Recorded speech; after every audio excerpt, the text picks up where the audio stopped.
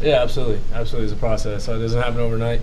Um, you know, it's definitely you know something that started when I got here back you know back in uh, 2017, coming out of high school early, and uh, you know it's going to continue you know until my career ends here. Is that a tough lesson to understand? No, I think it's something I've understood you know coming since I've been here. Uh, you know, you, you you'll never see it all. You know, there's always going to be things that you can't experience the practice until you get into a game situation. So as you know, as I've been playing, I've become more comfortable with seeing you know new things and just kind of reacting and, and playing now that you've had a chance to watch the game again, digest it, study it, and sort of move on? I mean, do you have a, a, better sense for, you know, what happened on, on a lot of the sacks that you took that you know contributed to negative yardage and stuff like that throughout? Yeah, absolutely, absolutely. Uh, you know, some some I can get control of, some I can't. Some I need to just throw away.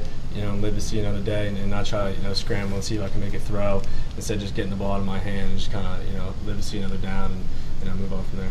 We were talking with Coach Watson about sort of the, their desire to not take your instinctual ability away from you and, and they'll give you the freedom when you see a lane, go ahead and take it. How, how, much, how does that play out in, in your head as you're just trying to think about what you want to do and the way you want to do things in, the passing game?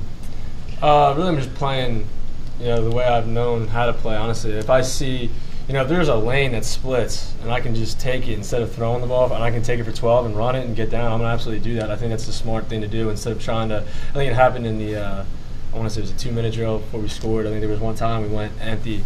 It kind of cleared out, and I was like, you know, I'm just going to take it and, and, get you know get the first down, and then we'll move on from there.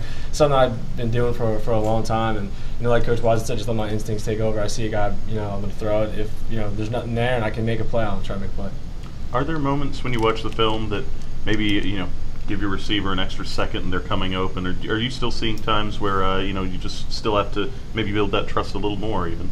Yeah, I mean it's easy to say from the film room. Uh, you know when the bullets are flying and you know you feel like that pressure's coming, and you don't think you're gonna be able to get the ball out in time. You don't want to take a sack. You want to try to make make a positive play out of something, and that's what I think I need to take ownership of. And just if it's not there, just throw it away, or you know don't take that negative play that, that can that can hurt you know field position especially and then you know and hurt our defense by giving them poor poor field position. When you guys are playing a team, oh sorry, uh, like like UCF with uh, such an with uh, such an up tempo offense that can really tire and wear down a defense. From from the offensive end, how much more of an emphasis or importance is there on you guys having somewhat sus, uh, sustained drives, not going three and out, not even you know going six and out or whatever? Yeah, absolutely. Uh, I mean, I think you know you can't really overthink it. You know, the main goal is to go score. I think we you know we put up some good points last week.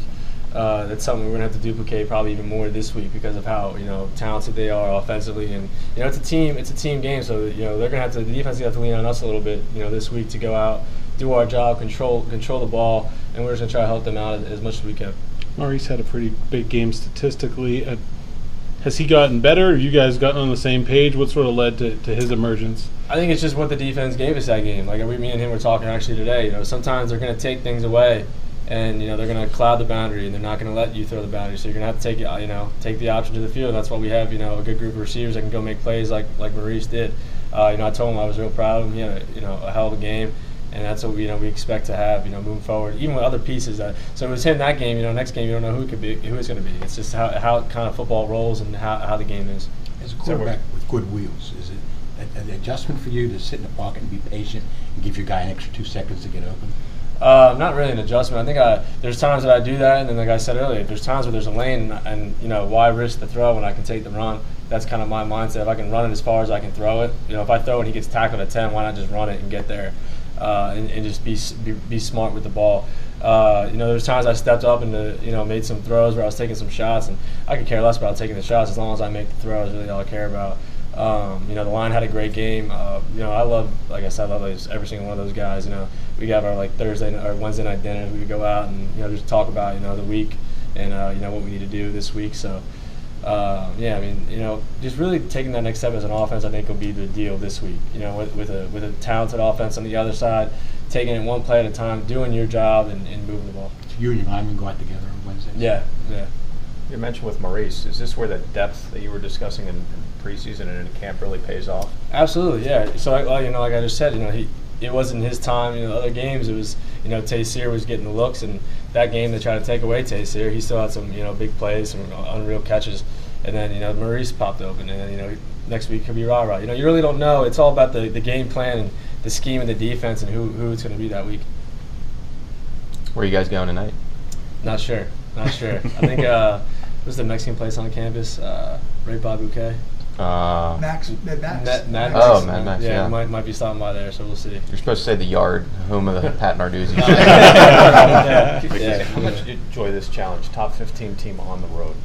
Yeah, I mean, there's, there's nothing, there's nothing like it. It's like you know, no one expects you to win. Like going in there and stunning a team. I've done it in my career before in college and high school, and there's no there's no better feeling than going in and, and beating someone that nobody expects you to beat. So we're gonna go in there and give them everything we have.